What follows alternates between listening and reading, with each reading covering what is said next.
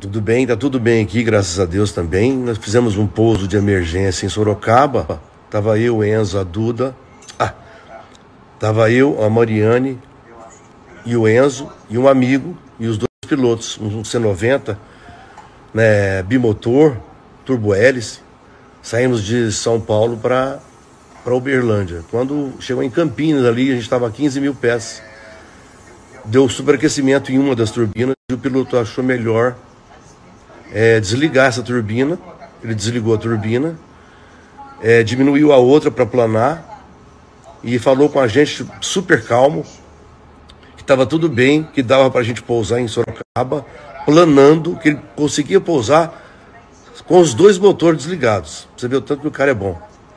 Aí nós pousamos em Sorocaba com o motor, quando ele deu uma, e nós conseguimos pousar sem o reverso, porque não podia usar o reverso, né? Que estava só com motor para mim.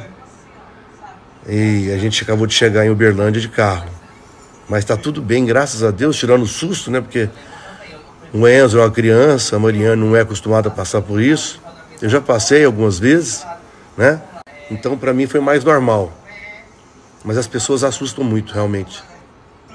Mas graças a Deus, piloto profissionalíssimo, fez tudo certinho. E graças a Deus nós estamos aqui são e salvos. Mandar um beijo para todo o Brasil. Obrigado pela preocupação de todos. Vamos continuar cantando. Obrigado, Deus.